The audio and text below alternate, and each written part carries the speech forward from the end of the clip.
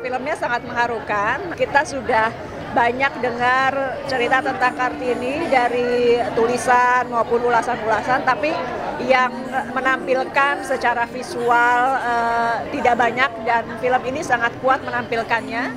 Pertama saya sarankan perempuan-perempuan Indonesia untuk menonton film Kartini karena ini mengingatkan kita kembali kepada masa-masa di mana uh, kita pernah mengalami masa gelap dan masa yang sulit supaya kita bisa menghargai masa yang ada saat ini.